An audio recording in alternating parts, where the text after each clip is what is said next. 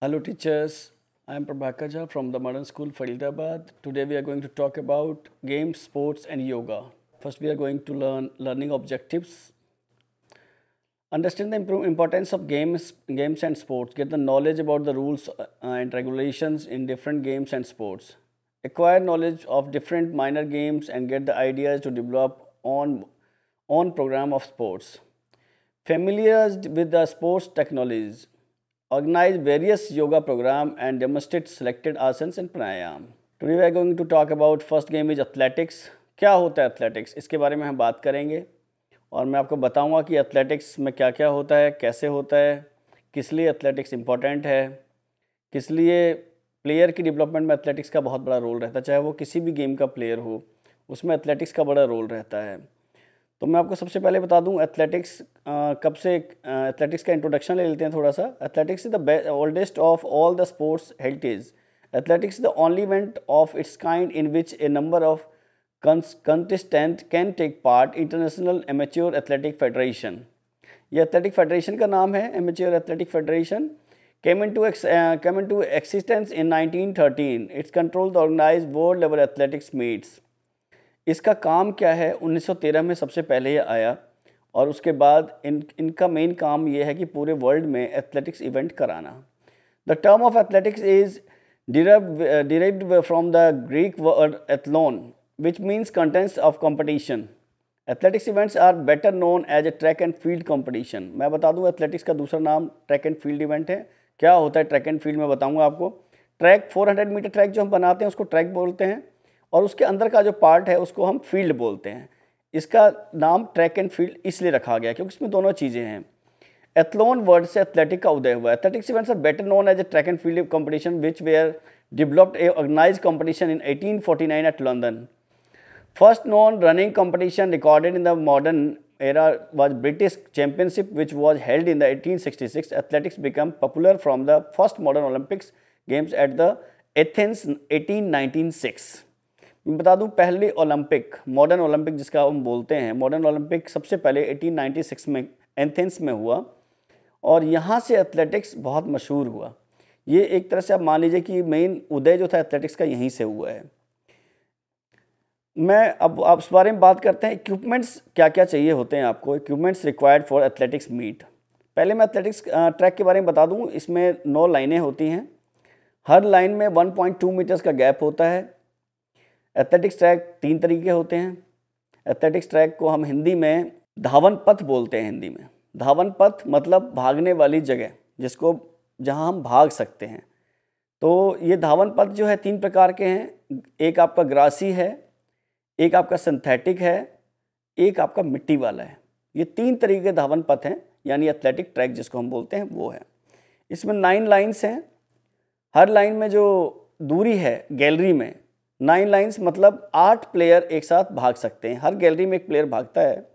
1.2 metre का gap है। जो लाइन की मोटाई है वो पाँच इंच पाँच सेंटीमीटर है। पाँच सेंटीमीटर है और उसके बाद भागने के लिए इतनी जगह इसलिए इसमें दी जाती है ताकि कोई भी किसी से, कोई प्लेयर दूसरे प्लेयर से टकराए ना। वो आराम से अपनी रेस ख़त्म कर पाए। और इसमें अगर आप अपना ट्रैक चेंज करते हैं तो आप डिसक्वालीफाई हो जाते हैं। डिसक्वालीफाई हो जाते हैं आप। तो इसलिए इसमें ट्रैक चेंज नहीं करना है। Equipments required for athletic meet में बता दूँ, आपको स्टॉप वॉच चाहिए स्कोर सीट चाहिए फिनिशिंग पोल्स चाहिए कॉर्ड चाहिए बैटन्स चाहिए। बैटन किस लिए यूज़ होता है? मैं बताऊँगा आपको आगे। रिले रेस के लिए बैटन यूज़ होता है। क्लिप बोर्ड्स चाहिए चेस्ट नंबर्स चाहिए, जो आप प्लेयर्स को देंगे। जजिंग स्टैंड चाहिए फ्लैग चाहिए स्टार्टिंग ब्लॉक्स चाहिए एंड मेजरिंग टेप चाहिए। ये सब जो चीज़ें हैं, इसके लिए आपको चाहिए। अब मैं बता दूँ इसमें ज़रूरत क्या क्या है आपको? किस किस चीज़ की ज़रूरत है? ज़रूरत इसमें हर चीज़ की अपनी एक ज़रूरत है। स्टॉप वॉच की ज़रूरत इसलिए है कि आपको इसमें प्लेयर का रिकॉर्ड करना है कि प्लेयर कितनी देर में पहुँचा है, कहाँ तक। क्या टाइमिंग आई किस प्लेयर की? स्कोर सीट में अगर आठ प्लेयर भाग रहे हैं, इकट्ठे आठ एथलीट भाग रहे हैं एक बार में तो उसमें हर एथलीट का लिखा जाता है कि ये इतनी देर में यहाँ तक पहुँचे। ये इनकी टाइमिंग्स रही। फिनिशिंग पोल्स क्या होते हैं? फिनिशिंग पोल्स को जहाँ आपका रेस ख़त्म हो रही है आपकी, वहाँ पोल्स बनाए जाते हैं। आपने देखा होगा कोड भी इसी इसी में यूज़ होता है फिनिशिंग पोल्स के साथ यूज़ होता है। ताकि जहाँ पे जो लास्ट आपका जो स्टेप है जहाँ पड़ा है, वहाँ पोल लगाए जाते हैं। बैटन्स क्या होता है? बैटन आप रिले में यूज़ होता है। क्लिप बोर्ड्स क्लिप बोर्ड्स इसलिए होते हैं ताकि आप उसमें आराम से जो है अपना काम कर सकें और वो सामने लगाए जाते हैं। चेस्ट नंबर्स क्या होते हैं? चेस्ट नंबर हर प्लेयर को अलग अलग मिलता है, हर प्लेयर का चेस्ट नंबर होता है वन टू थ्री फोर ऐसे होता है। जज स्टैंड होते हैं। जज स्टैंड जहाँ जज बैठते हैं, वो बिल्कुल लाइन के पास बैठते हैं जहाँ जज जहाँ पे रेस फिनिश हो रही होती है। हालाँकि अब तो ज़माना जो है वो जज स्टैंडर्ड का ज़्यादा रह नहीं गया है, क्योंकि अब सब कुछ कैमरे में रिकॉर्ड होता है और कैमरे की किसका चेस्ट पहले लगा, किसके पैर पहले पहुँची, इससे देख लेते हैं। फ्लैग्स चाहिए। फ्लैग लगाने के लिए चाहिए ट्रैक के चारों तरफ़ फ्लैग लगता है। स्टार्टिंग ब्लॉक्स स्टार्टिंग ब्लॉक्स गोल एक ब्लॉक बनाया जाता है, जिसमें प्लेयर बैठता है और फिर वहाँ से वो स्टार्ट करता है। मेजरिंग टेप मेजरिंग टेप आपका ग्राउंड नापने के लिए, आपकी, मैंने बताया कि हर गैलरी में जो गैप है उसको मेंटेन करने के लिए। तो मेजरिंग टेप के बिना आप कोई भी ग्राउंड मार्क नहीं कर पाएँगे। इसलिए ये सारी चीज़ें आपको चाहिए चाहिए। ये सब चीज़ें एथलेटिक्स के अंदर चाहिए। इसके अलावा मैं बता दूँ एथलेटिक्स में जो रेसिज हैं, हम उसकी बात कर लेते हैं थोड़ी सी। जो लो डिस्टेंस रेसेस हैं उनमें 100 metre race 200 metre race 300 400 metre race है। लॉन्ग डिस्टेंस की बात करें तो उसमें 800 मीटर रेस है 1600 मीटर रेस है। उसमें वॉकिंग वॉकिंग रेस भी है जो 10,000 किलोमीटर्स की भी होती है। वो वॉकिंग वॉकर्स के लिए है। तो इस तरह से रेसेज होती हैं। इसके अलावा आप जो फ़ील्ड गेम है फ़ील्ड गेम में आप शॉर्ट पुट करा सकते हैं। शॉर्ट पुट के अलावा लॉन्ग जंप भी करा सकते हैं। जैवलिंग करा सकते हैं आप हाई जंप करा सकते हैं आप। ये फ़ील्ड के अंदर ये गेम सारी होती हैं। ये सारी फ़ील्ड, इसलिए इसको ट्रैक एंड फ़ील्ड इवेंट बोला जाता है। स्पोर्ट्स डे में सबसे ज़्यादा जो आप, हम रेसिस कराते हैं, वो ट्रैक एंड फ़ील्ड का ही इवेंट का हिस्सा होता है। तो ये सारी जो जो जो चीज़ें हैं, ये आपको चाहिए, इसके बिना आप नहीं करा पाएँगे। इसके अलावा मैं एक चीज़ और ऐड करता हूँ, चूना। चूने के बिना आप लाइनिंग नहीं बना सकते। चूने दो तीन तरीके के हैं। आप जो बेस्ट चूना है, वो यूज़ कीजिए और उससे लाइन बनाइए। लाइन की मोटाई ज़रूर याद रखिए। फाइव सेंटीमीटर से ज़्यादा नहीं होनी चाहिए, फाइव सेंटीमीटर्स की एक लाइन बनती है। प्लेयर्स जब आप स्कूल्स में आप कराएँगे तो आपको खिलाड़ियों को ये चीज़ ज़रूर समझानी है कि आप अपना ट्रैक चेंज नहीं करेंगे। अगर आप ट्रैक चेंज करते हैं तो आप डिसक्वालीफाई हो जाते हैं। आप किसी को पुश नहीं कर सकते हैं। अगर आप किसी को पुश करेंगे तो भी आप डिसक्वालीफाई हो जाएँगे। तो ये जो चीज़ें हैं, ये हमें प्लेयर्स को बतानी पड़ती हैं कि वो इस रूल्स को समझें। ये रूल्स रेगुलेशन जो है स्पोर्ट्स उसके बिना नहीं चल सकता है। और ये एथलेटिक तो अपने अपने आप में बहुत बड़ा इवेंट होता है। तो इसलिए ये चीज़ें हम खिलाड़ियों को, हमारे स्टूडेंट्स को, शिक्षार्थियों को समझाना पड़ेगा कि ये इसके रूल रेगुलेशन हैं। चलिए आगे चलते हैं। गेम है बैडमिंटन। मैं बैडमिंटन के बारे में आपको बताता हूँ। Badminton it is believe that badminton was first played in India by British official in 1877 आप जानते हैं हम लोग उस टाइम यहाँ पे अंग्रेज़ों का राज था और ब्रिटिश यहाँ पे राज कर रहे थे। तो ये 1877 ईस्वी में सबसे पहले खेला गया। This game was called Poona इसका दूसरा नाम पूना है। The international badminton association was found in 1934 the badminton association of India was found in 1935 first badminton tournament was held in 1929 in Punjab state it was known as Punjab state championship the first national was held in 1936 मैं बता दूँ कि badminton जो world badminton badminton association है, जिसको हम international badminton association के नाम से जानते हैं वो उन्नीस से बना और तुरंत उसके बाद एक साल के अंदर ये गेम इंडिया में भी आया और इंडिया में इसकी एसोसिएशन तैयार हो गई और ये 1935 में यहाँ एसोसिएशन बन चुकी थी। पहला टूर्नामेंट जो है बैडमिंटन का उन्नीस सौ उनतीस में खेला गया पंजाब स्टेट के अंदर और इसको इसका नाम दिया गया Punjab state championship the national was held in 1936 same एक साल पाँच साल छः साल बाद फिर इसका एक नेशनल इवेंट भी कराया गया। और 1936 में ये मुंबई में हुआ, जिसे आप मुंबई के नाम से जानते हैं। अब मैं बैडमिंटन की बात कर लेता हूँ। बैडमिंटन में और क्या चीज़ें आपको चाहिए होती हैं? बैडमिंटन का जो कोर्ट है, वो प्लाई का होता है और आपका मेन जो है प्लाई है और सिंथेटिक भी होता है। दोनों तरीके के बैडमिंटन कोर्ट होते हैं, प्लाई एंड सिंथेटिक प्लाई ज़्यादा यूज़फुल होता है उसके लिए, लेकिन आपके जो जूते हैं, वो उस लेवल के होने चाहिए कि वो फिसले ना उसके ऊपर। जूते बहुत अच्छी क्वालिटी के चाहिए उसके अंदर। इसकी जो लंबाई चौड़ाई बता देता हूँ मैं आपको क्या है? 13.4 मीटर इसकी लेंथ है। 13.4 मीटर। और 6.1 मीटर इसकी विड्थ है। ये मैंने जो आपको बताया, ये डबल्स के लिए है। सिंगल्स में आप इसको 5.2 करना पड़ेगा आपको। 5.2 metre. And 6.1 metre for doubles singles के लिए 5.2 मीटर्स इसके सिंगल्स गेम भी हैं डबल्स गेम भी हैं। इस गेम के सिंगल्स भी और डबल्स भी। तो आप इसको एक टीम इवेंट नहीं कहते हैं। ये सिंगल गेम प्लेयर है सिंगम सिंगल गेम है और इसमें टीम इवेंट्स नहीं होते हैं। टीम इवेंट्स अगर आपको कराने हैं तो एक एक टीम में चार बैडमिंटन प्लेयर लेंगे और दूसरी टीम भी चार बैडमिंटन प्लेयर लेंगे। तो जाके टीम इवेंट बन पाता है। वैसे बैडमिंटन जो है इंडोर गेम का हिस्सा है और बैडमिंटन में भी हमारे देश का, काफ़ी प्लेयर दिए हैं तो बैडमिंटन अब स्कूल्स में काफ़ी चल रहा है। मुझे पूरी उम्मीद है कि आपको बैडमिंटन की डायमेंशन आपको समझ आई होंगी। आगे चलते हैं, वॉलीबॉल ले लेते हैं। Volleyball, the history of this game is more than hundred years old. Volleyball was started in 1895 by an American named William G Morgan. इसकी हिस्ट्री यही है कि 100 साल पुरानी गेम है और बहुत पुरानी गेम है। अठारह सौ पंचानवे में अमेरिकन अमेरिकन लोगों ने इसे शुरू किया। उन, उनका नाम था William G Morgan. The game was named so because the ball ball was not allowed to bounce in state it is push to the other side with hands only volleyball federation of India was establish in 1951 international volleyball federation came in to existence in 1947 the first international volleyball competition was held in Prague in Olympic. Volleyball was introduced in 1964 in Tokyo. Volleyball was introduced in India by the YMCA. It, it, it is now very popular game in Asian Games and the Olympic. अठारह में game बन चुका था तैयार हो चुका था और उसके बाद ये वॉलीबॉल फेडरेशन जो इंडिया की है वर्ल्ड की है वो 1947 में तैयार हुई पहला इंटरनेशनल वॉलीबॉल कंपटीशन प्राग में हुआ ओलंपिक जहाँ पे पहला ओलंपिक था प्राग ओलंपिक्स में हुए वॉलीबॉल को इंट्रोड्यूस उन्नीस सौ में टोक्यो में किया गया। वॉलीबॉल इंडिया में वाईएमसीए के द्वारा लाया गया था। वाईएमसीए वो जगह है जहाँ सबसे पहले सबसे पहले जो है फ़िज़िकल एजुकेशन भी पढ़ाई गई। वाईएमसीए मद्रास इसके लिए मशहूर है। वाई, इसमें मैं बता दूँ प्लेयर्स कितने होते हैं इस गेम के अंदर। इस गेम के अंदर जो खेलते हैं खिलाड़ी उसमें छः प्लेयर होते हैं। बाकी बाकी के जो पाँच पाँच छः प्लेयर हैं वो बाहर बैठते हैं। तो छः प्लेयर की गेम है इसमें और इसमें बॉल को हाथ से पुश करना होता है और जो नेट्स लगे हैं उसके बाहर आपको भेजना है। बॉल आपकी तरफ़, आपके जो एरिया है उसमें नहीं गिरना चाहिए, नहीं तो पॉइंट्स हो जाता है। इसकी डायमेंशन मैं आपको बता देता हूँ।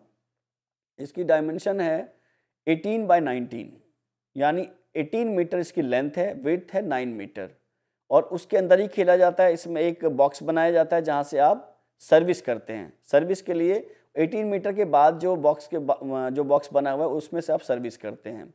और सर्विस के ड्यूरिंग द सर्विस आपको बॉल दूसरी तरफ़ पहुँचाना ही पहुँचाना है और वो भी जो उनकी समाप्ति लाइन है, उससे पहले अंदर होना चाहिए। अगर उसके बाद गिरता है तो आपके अगेंस्ट वो पॉइंट चला जाता है। वॉलीबॉल एक ऐसी गेम है, जिसमें आप हाथ की जगह कई बार पैर से भी मार देते हैं। आपने देखा होगा, अगर वॉलीबॉल का मैच देखा होगा तो बॉल अगर आती है और वो गिर रही है, अगर आपके हाथ नहीं पहुँच रहा तो कई प्लेयर पैर भी मार देते हैं। और पैर से भी बॉल दूसरी तरफ़ चली जाती है तो भी वो पॉइंट माना जाता है।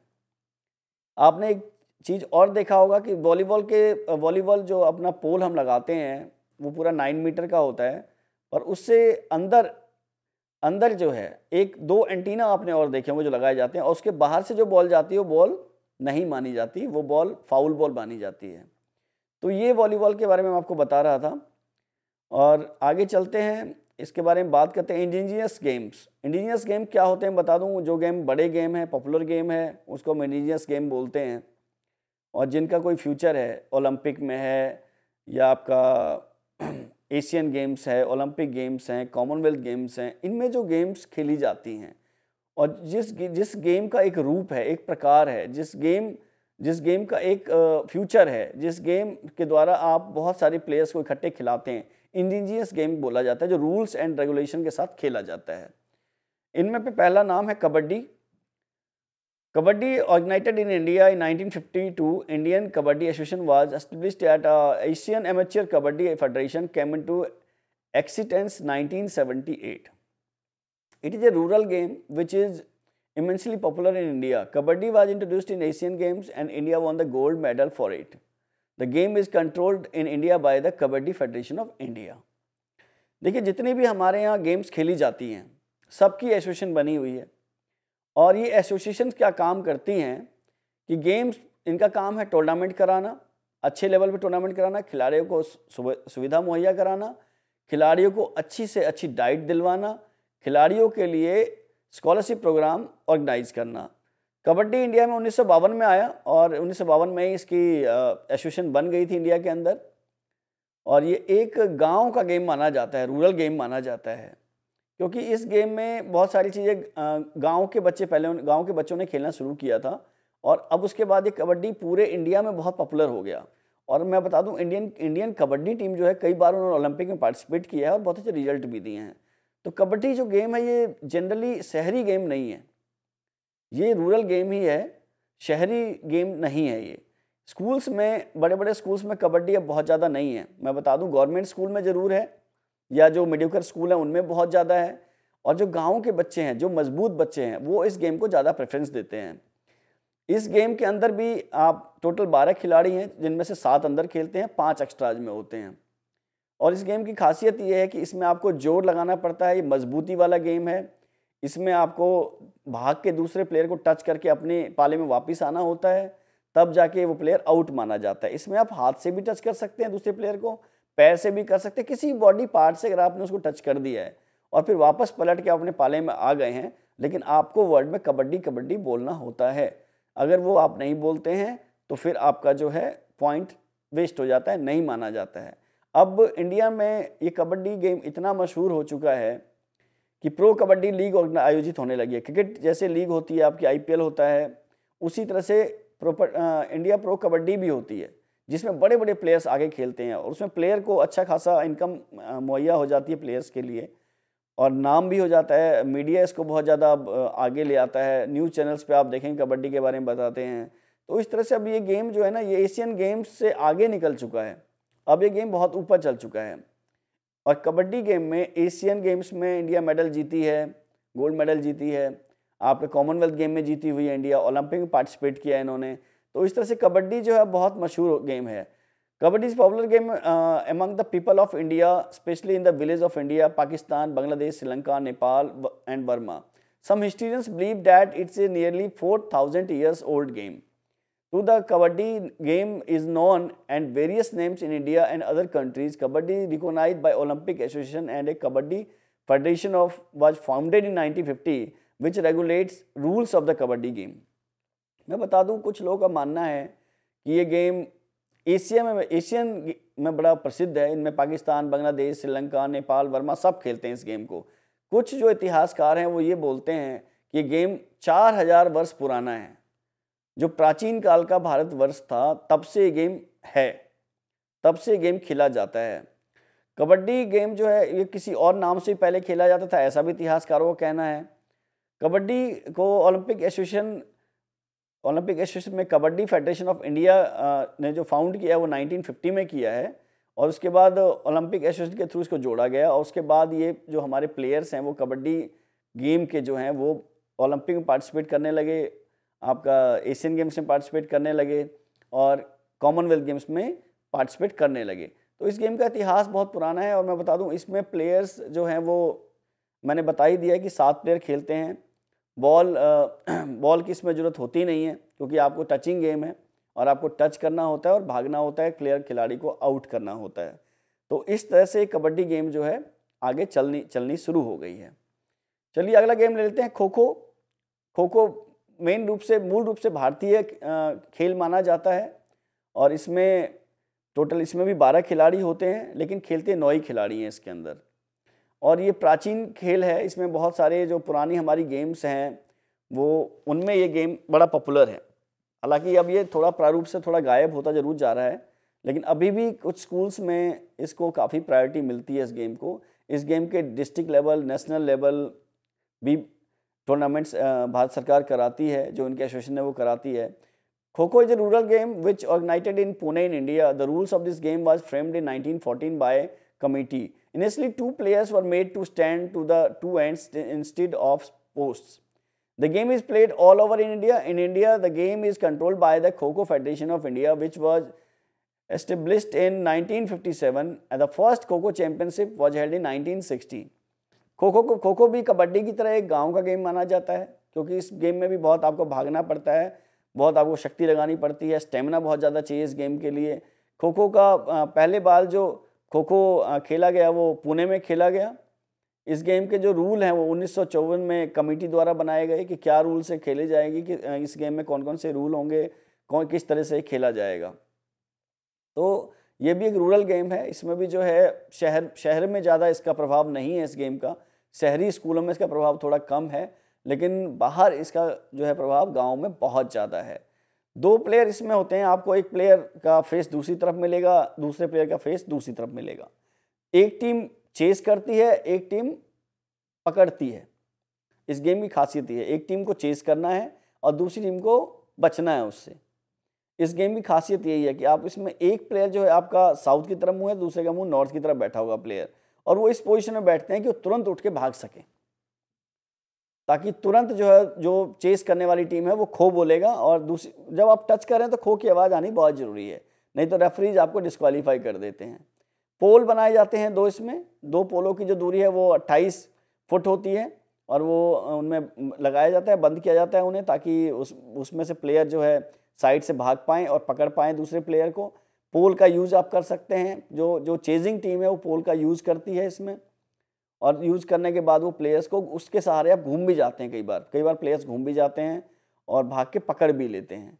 तो ये जो गेम है, ये इसकी पहली जो चैम्पियनशिप हमारे इंडिया में हुई, वो 1960 में हुई और उसके बाद से ये गेम लगातार बहुत पॉपुलर हुआ।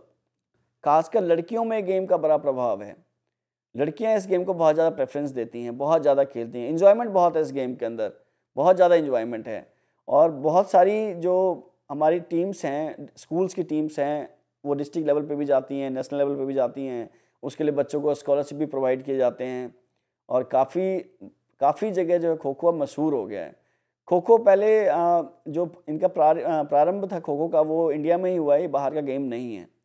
चलिए हमने इंडिजियस गेम की बात की, हम आगे बढ़ते हैं माइनर गेम ले लेते हैं। क्या होते हैं माइनर गेम्स क्या है माइनर गेम का मीनिंग और ये हमारे सिलेबस का हिस्सा है माइनर गेम माइनर गेम एक मतलब फन गेम माना जाता है कि आपने पकड़म पकड़ाई खेलते थे, बचपन में आपने देखा होगा।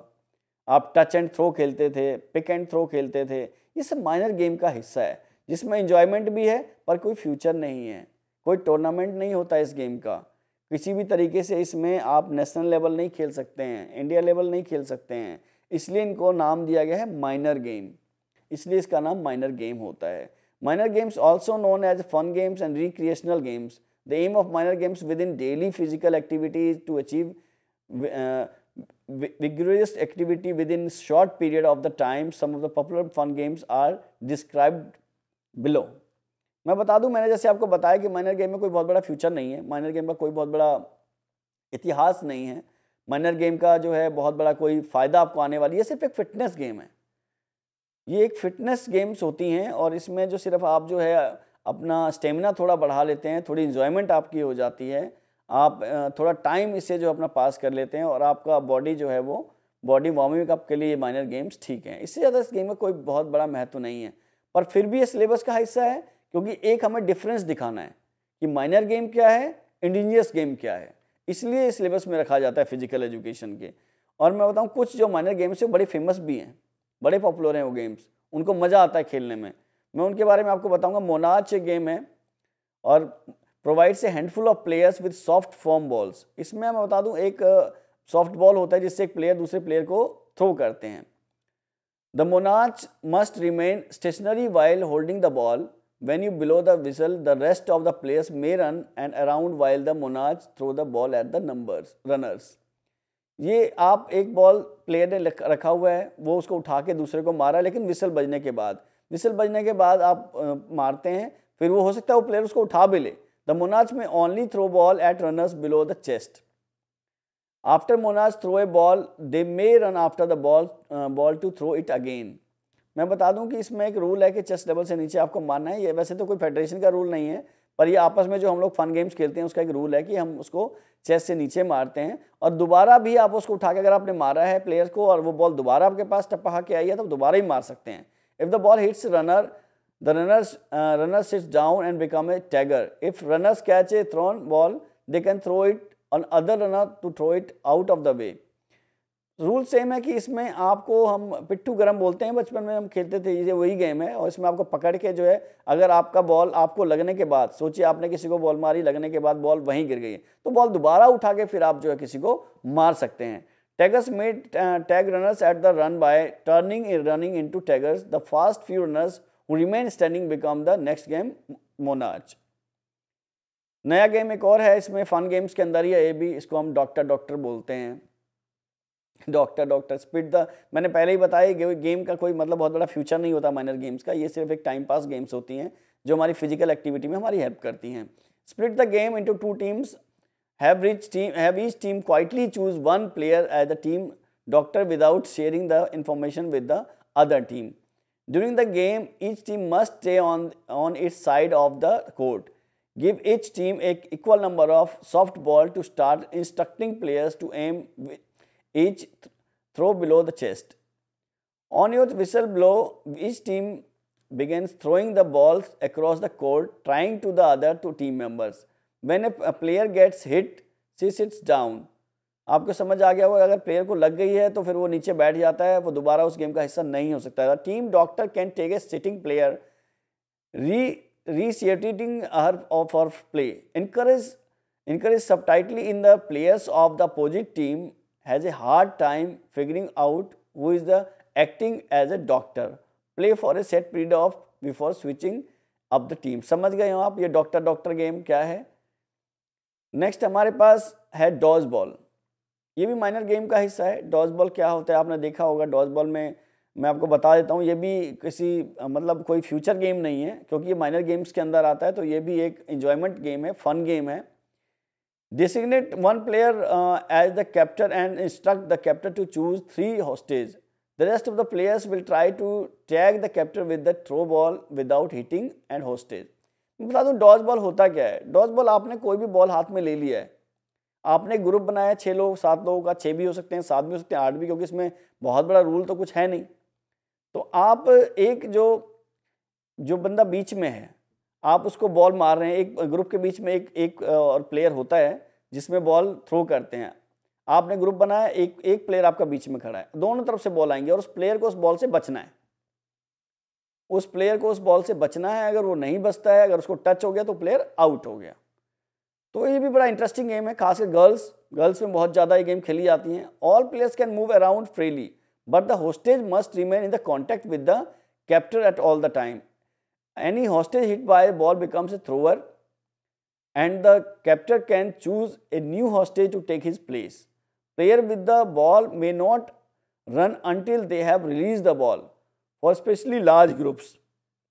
Designate several groups of captor and hostage. After, it, after a designated period of time, switch up uh, the groups and designating new captors आप, मैंने बताया आपको कि जो अंदर जो हॉस्टेज जो खड़ा है हॉस्टेज के रूप में, जो प्लेयर जो भी प्लेयर खड़ा है ग्रुप बड़ा है, अगर वो बॉल जब तक उसको टच नहीं होती है, आप जिस प्लेयर के पास बॉल जाएगी, उठा के उसे मारता है ग्रुप के अंदर का।